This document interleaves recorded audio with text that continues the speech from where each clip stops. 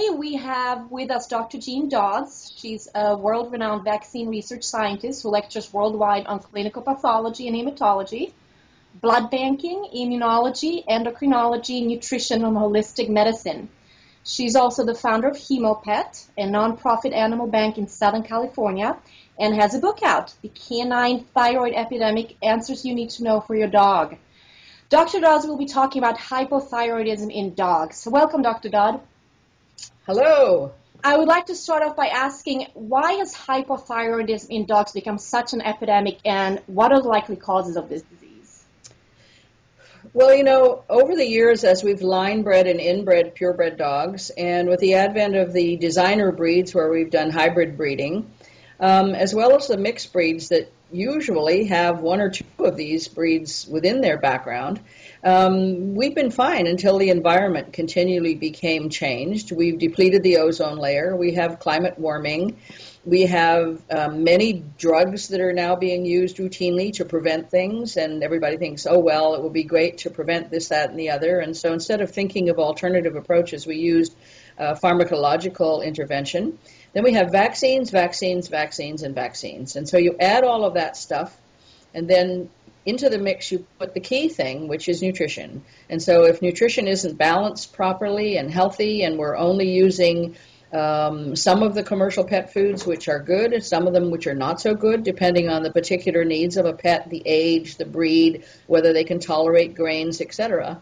Um, now we have an epidemic, and what's it? What is it doing? It's targeting those tissues that control body metabolism. In other words, the pituitary thyroid axis. Okay.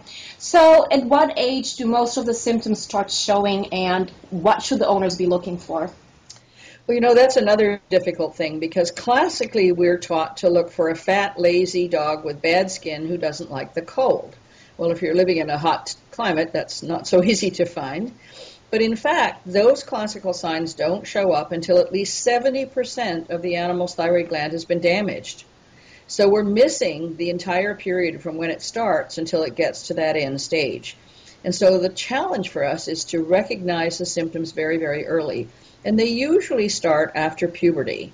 Uh, occasionally before that, but typically 9 to 14 months of age is when the uh, changes would start. And sometimes all you see is a behavioral change the animal's suddenly not the sociable, cuddly, um, calm animal it used to be. It starts to do some weird things, and at first the owner thinks, "I don't, I don't believe it. This is just a random event." And then they start seeing weird things more often with other animals in the home or other people in the home, and then when people start visiting. And so that's the clue that something's not right.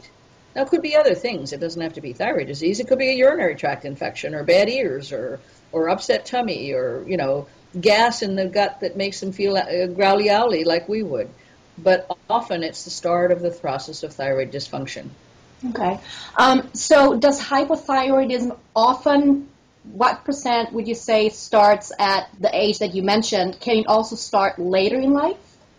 It can start later in life when the animal has a particular stress. In other words, an animal can be very healthy until midlife, mm-hmm. and then some stress event occurs and it wipes out um, the function of metabolism that's sort of in a compensatory state. Much like kidney disease can, with aging, can be fine um, until an animal's 10 or 12, and all of a sudden they're drinking a little more water, yes, to flush out the kidneys, and then all of a sudden they decompensate. But we have to remember that 10 years ago, the typical age of hypothyroidism was two to six years of age. Mm-hmm. Typically now it's one and a half to three years of age. So the environment has definitely caused these diseases to show up earlier. Hmm, okay. Um, so even though your dog may not show any symptoms of hypothyroidism, would you recommend to start testing your dog at a certain age as part of your blood testing, yearly blood testing, annual testing? The annual wellness exam is extremely important, as it is for ourselves. And I know we often don't do that as often as we should. But remember, a year is a long time in a pet's lifespan. And so we should start around puberty with a healthy animal, uh, you know, maybe a year of age, and do annual blood testing. And that should include a complete thyroid panel, not just a T4, like many veterinarians are taught by laboratories to do the what we call the CBC, complete blood count, super superchem, serum chemistries, T4, and urinalysis well, that's just not good enough. And so they produce uh, special profiles that are less expensive to do this as a wellness screen. And you'll miss so many thyroid cases if you just measure a total T4. You won't diagnose any of the heritable forms of thyroid disease that are so prevalent in many breeds. It won't be seen that way. And sometimes the animal is getting to the point where it's so asocial it's going to be put to sleep. And it's three years old and it's been um, unusual for, for, for a year and a half and nobody's done the right testing. We've had animals that have come within a hairbreadth of being put to sleep for behavioral issues when they had thyroiditis and they could have been treated. Hmm. So, from my understanding, there are two types of hypothyroidism. You have a primary and a secondary. What is the difference between these two? Well, there's actually more than two types. In primary thyroid disease, it means that the thyroid gland is the target of the problem. And so the problem is typically 90% of the time associated with this genetic defect, um, autoimmune thyroiditis. And the other 10% is what we call idiopathic, meaning idiot pathology. We don't know why. um, atrophy of the thyroid gland. We don't really understand that. So those would be the primary thyroid diseases, and they're all familial. They run in families, and in the thyroiditis case, they're heritable. Secondary thyroid disease is when you have some other condition that's suppressing the thyroid gland, like a non thyroidal illness. And what it's going to suppress is basically your total T4, like we talked about. It, usually has very little effect on the free, unbound T4, and it does not affect thyroid autoantibodies. And so, secondary hypothyroidism, when you have liver disease, gut disease, skin disease, kidney disease, that is not caused by a thyroid problem, but looks like it because of incomplete testing. Okay. So if you want to test your dog for hypothyroidism, what tests should you do to make a correct diagnosis or a correct diagnosis can be made? Yes, you need to have a full thyroid antibody profile, which means a total T4, its free, biologically unbound fraction, a total T3, the free T3, the unbound fraction of T3, and at least a thyroglobulin autoantibody, which is the marker for autoimmune thyroid disease. There are other tests that can be run, but those are the critical ones. And so, why, why is it necessary to conduct all of these tests?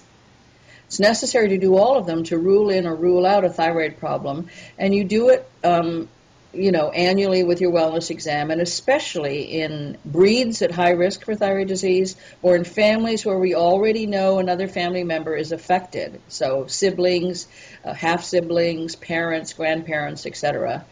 And also, um, if the animal is on therapy, let's say it was diagnosed as hypothyroid correctly and it was put on the appropriate dose of therapy, when you're doing subsequent follow ups, you may not have to do the whole profile each time. It depends on the case, the individual case. And if there was a thyroid autoantibody elevation initially, it has to be measured each time you redo it um, to check that it's not starting up again, that it's being under control. Okay. So if we're looking into the tests, what do the results mean? Normal versus abnormal? I know it's a broad subject. The nor- eh, well, first of all, let's just just make a comment here. We are the only veterinary diagnostic lab in the world that actually interprets results based on the age and the breed or breed type and the activity level, couch potato versus Iditarod racer of the dog. Uh, same thing with cats. Nobody else is doing that. And so when a veterinarian gets a printout from a commercial uh, or un- even university reference lab, it's all the same. All dogs are considered to be the same. And they're not the same if they're young. They're not the same if they're old. Young animals should have more activity. Old animals should have less because they're not running around and jumping around as much. And then certain breeds are quite different. Toy breeds are more active than giant breeds. Sighthounds, as a rule, all sighthounds have low levels of thyroid uh, relative to other breed types. And so, with all the rescued greyhounds in the world that are being adopted, many veterinarians may still, or some veterinarians may still not know this. And so, they do a test on a greyhound, typically a T4. It's going to be low. They put them on a humongous dose of thyroid, which is way too high for a sighthound and causes all kinds of secondary issues.